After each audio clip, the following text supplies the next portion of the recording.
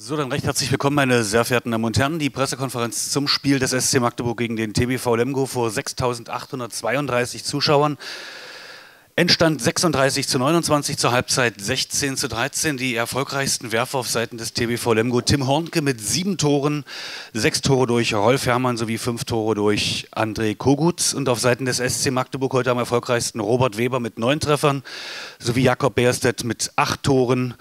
Finn Lemke mit fünf Treffern, auch eine stattliche Anzahl an Toren. Soweit diese statistischen Werte. Wir begrüßen recht herzlich vom TBV Lemgut Christian Spritlik, den Manager, sowie Florian Kermann, dessen Worte ich die ersten bitte zum Spiel. Ja, guten Abend. Ähm, vorneweg natürlich Glückwunsch an den SCM.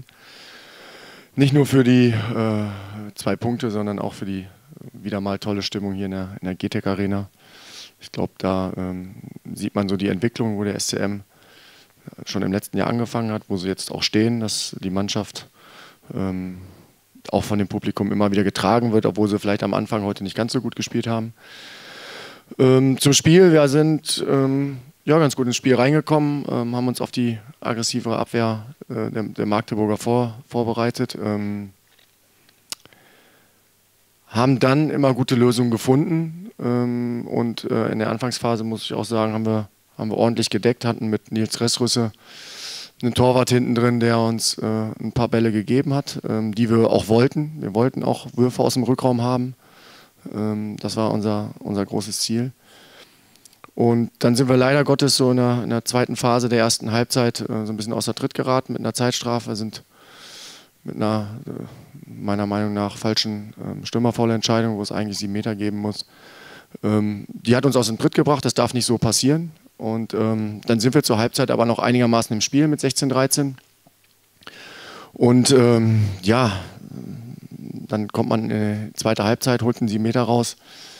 Ähm, und wenn der drin ist, sind es zwei. So kriegen wir direkt Gegenstoß vier. Und dann war die Distanz immer da. Wir haben es nochmal geschafft in der 45. Minute ähm, auf vier Tore zu stellen. Aber äh, dann, glaube ich, ähm, reichte auch dann die Kraft nicht mehr so ganz. Wir konnten nicht so viel wechseln äh, wie der SCM, äh, die natürlich über einen großen Kader verfügen, obwohl sie mit Musa und Damgard auf zwei Stammspieler verzichten müssen. Aber das hat dann nachher nicht gereicht. Ähm, in der zweiten Halbzeit bin ich auch sehr unzufrieden mit der Torhüterleistung. Ähm, wir kriegen, glaube ich, ein oder zwei Bälle in 30 Minuten, das ist zu wenig. Aber auch die Torhüter muss man da in Schutz nehmen, weil die Abwehrleistung dann nicht mehr gut war. Und äh, deswegen geht der Sieg in Ordnung. Und wir bereiten uns jetzt eine Woche sehr konzentriert auf das Spiel vor, was für uns wieder immens wichtig ist, zu Hause gegen Eisenach. Ähm, wir brauchen da volle Halle, wir brauchen gute Einstellung und dann hoffen wir da zwei Punkte holen zu können. Danke ich recht herzlich, Florian Kermann, für diese Worte. Die ersten Worte von Seiten des SC Magdeburg nun von unserem Trainer Gia Svensson. Bitte schön. Äh, schön, guten Abend. Äh, Florian, danke für die Glückwünsche. Ja, so wie immer bin ich natürlich zufrieden mit den zwei Punkten. Wir haben hier zu Hause gewonnen. Äh, ich glaube, dass wir haben das so ein bisschen gemerkt, dass äh, wir haben so halb bis zwei Wochen äh, Pause gehabt. Äh, und eigentlich also kann ich nicht so sagen, dass ich äh, zufrieden mit den ersten zehn Minuten bin. und besonders dann hinten. Aber langsam haben wir das äh, geschafft, also äh, bessere Abwehr äh, zu spielen und dann kommt auch äh, Tormannleistung dazu. So allgemein, äh, ab dann also fangen wir an, also besser und besser zu spielen und am Ende, dass wir haben das geschafft, plus sieben zu gewinnen, mit, also bin ich einfach mit, äh, zufrieden mit.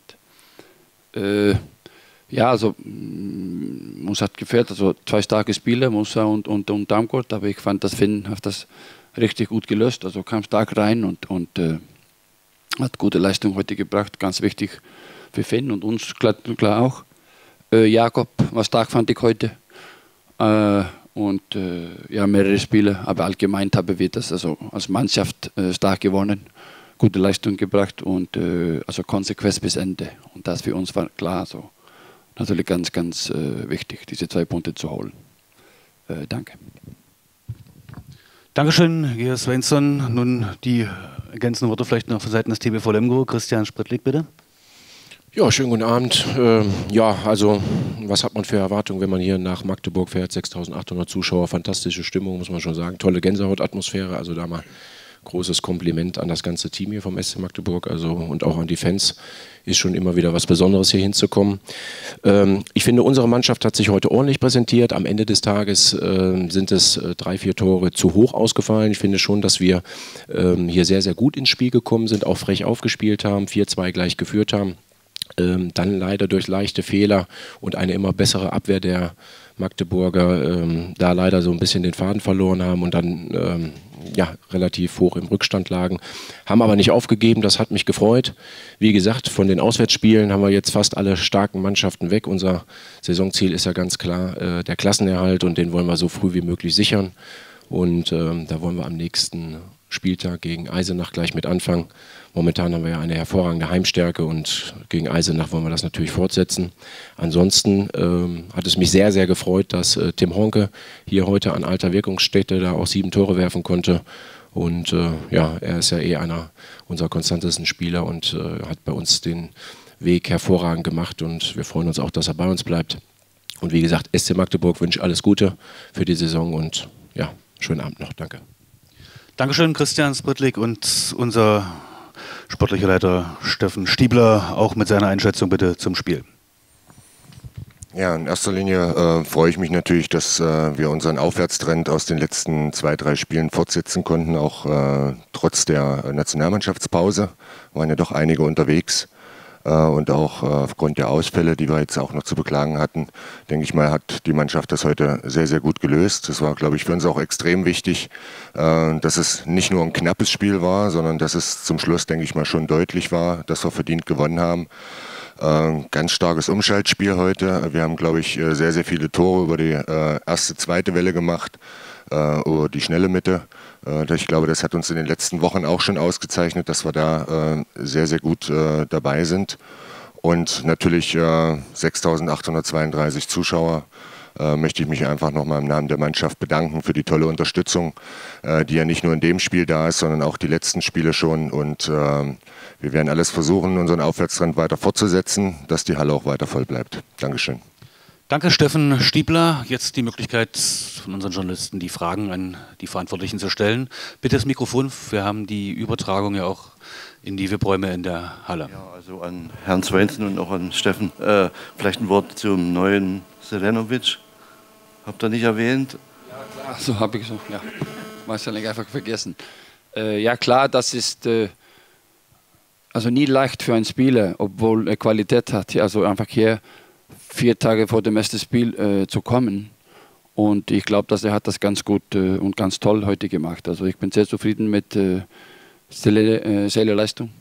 Und äh, er hat eigentlich ab ersten Tag, ab Mittwoch äh, ganz gut trainiert, sehr motiviert. und man sagt oft, also wie man das auf Deutsch sagt, also Quick Learner, also ist also sehr motiviert und, und konzentriert und der hat das ganz gut gemacht. Also das hier reinzukommen und ich hoffe und ich glaube, dass er einfach äh, selber sehr zufrieden ist, hat sich wohl hier äh, heute gefühlt und äh, ich glaube, dass wir einfach alle können einfach zufrieden sein mit äh seiner Leistung heute. Danke.